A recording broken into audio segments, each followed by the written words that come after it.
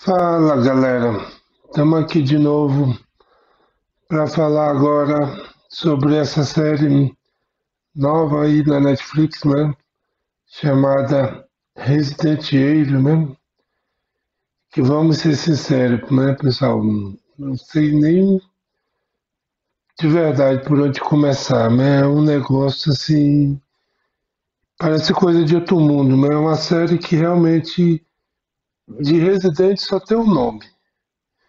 Porque de resto não tem mesmo praticamente nada da série, nada mesmo. Quando eu digo nada, é nada mesmo, sem exagero. Essa série, para quem é fã, é mesmo, é tipo assim, é a coisa mais horrível do mundo, a pior coisa que um fã de Resident Evil poderia esperar de uma série. Essa série, né? Chamada Resident Evil, As Filhas de Wesker. Vamos começar pelo começo.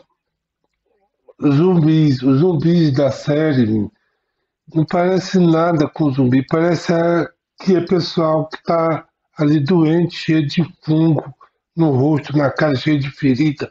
Não é aqueles zumbis morto-vivo ali que estão com a carne ali mordida, com marcas de mordida, faltando pedaço do corpo, pedaço da pele. Não, são os zumbis com esporo ali na série. Não tem nada de do, do jogo, nem isso. A série conseguiu fazer a Umbrella, que mais possível, você não, mas tem a Umbrella. A Umbrella, que é a né, empresa no jogo e na série responsável por criar o vírus, nem isso eles não conseguiram reproduzir fielmente ao jogo. As duas meninas lá, protagonistas da série, entram na Umbrella lá na empresa, como se estivesse entrando no shopping. No shopping lá, não, de boa, bota a luz aqui na cara para tapar a câmera, pega ali o celular com a voz do nosso pai, pronto, entra lá de boa, não tem mais ninguém, uma empresa multimilionária, não tem sequer uma pessoa monitorando as imagens lá da, da câmera do que está acontecendo.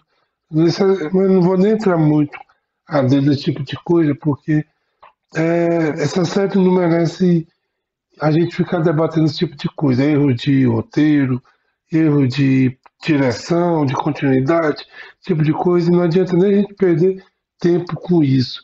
Vamos realmente falar o que é essa série. É, é uma série, minha gente, baseada mesmo que a empresa tentou fazer, mas tentou fazer, não, ela fez, mas, mas ela quis né, focar só na politicagem, né, na lacração, né, e assim, eles pegaram o nome Resident Evil, né, porque é um nome bem grande entre os fãs de game, é uma marca conhecida, e pegaram a política deles que eles queriam mostrar e colocaram o nome Resident Evil para chamar a atenção, para chamar o público, para chamar o fã, mas foi para os fãs verem aquela política deles, aquilo que eles querem mostrar, não foi para o fã ver uma série sobre o jogo até mesmo quem não é fã do jogo, muita pode pensar, mas não é só fã que vai assistir, não.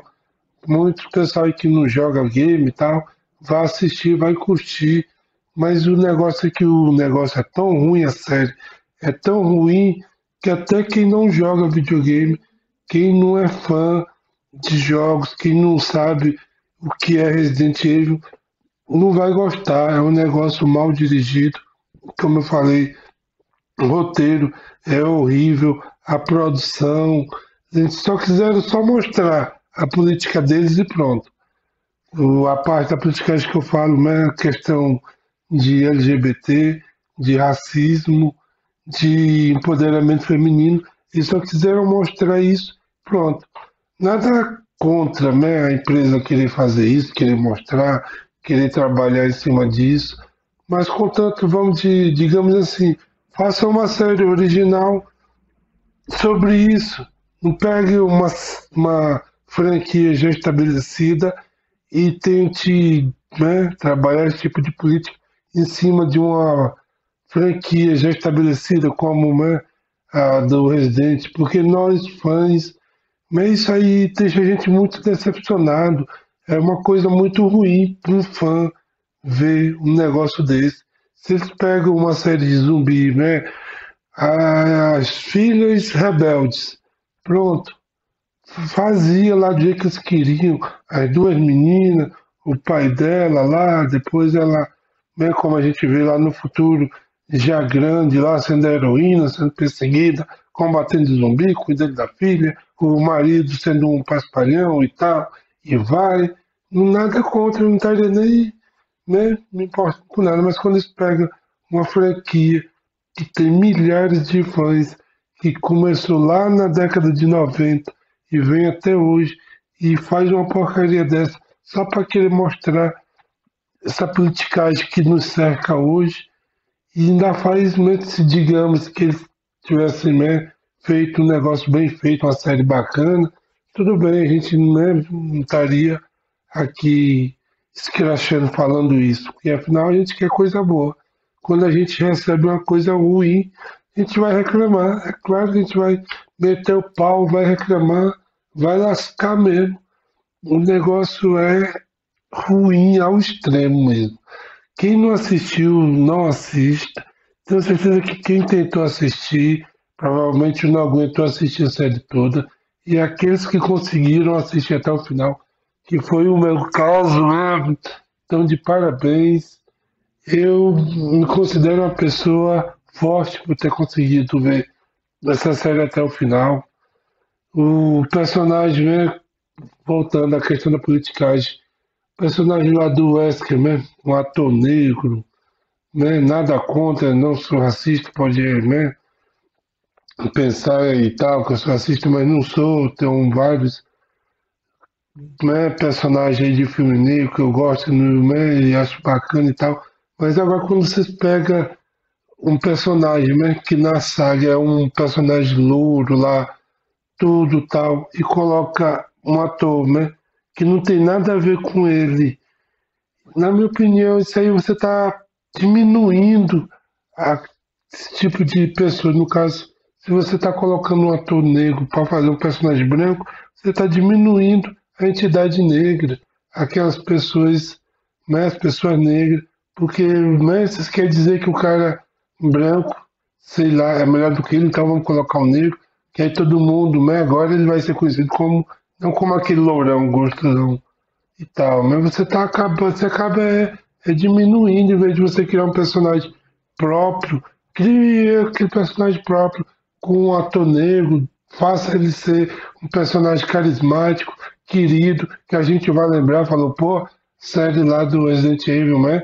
Tem aquele cara lá, aquele personagem negro, pô, o cara é bacana, gostei dele, né? Pô, aquele ali é show de bola, né? E tal. Faça um negócio assim, não pega um personagem que já está estabelecido na série desde a sua origem e troca a etnia dele só para né, mostrar e tal, que você está combatendo o racismo, isso e aquilo. Isso aí está se tornando cada vez mais ridículo. Isso aí está ficando cada vez mais, sei lá, tá um negócio assim que né, o pessoal tem que repensar melhor esse tipo de coisa. Você quer, quer, colocar a mulher no poder, você quer trabalhar em cima do empoderamento feminino, como eu falei, cria uma personagem ali tudo e tal, em cima de uma série original sua, trabalhe bem ela, não pegue uma franquia estabelecida e mude tudo isso e aquilo, lá, só para trabalhar essa, esse tipo de politicagem, esse tipo de lacração. Isso aí está estragando com os produtos que a gente está consumindo hoje, como o próprio Quentin Tarantino disse, a politicagem está superando a arte em vez da gente ter um, um artista mesmo ali, uma obra bem trabalhada, você está vendo uma obra mal feita só por causa da, da politicagem de trabalhar em cima daquela política. Isso aí, minha gente, não, uma hora vai chegar ao ponto que ninguém mais vai ver nada disso. Se, se não repensarem esse modo, esse tipo de trabalhar, esse tipo de coisa, vai ficar insuportável daqui a um tempo. Então, mais uma vez, né? A série é horrível, é ruim, não tem um protagonista do jogo. Por que, que não tem protagonista do jogo? Eu me pergunto.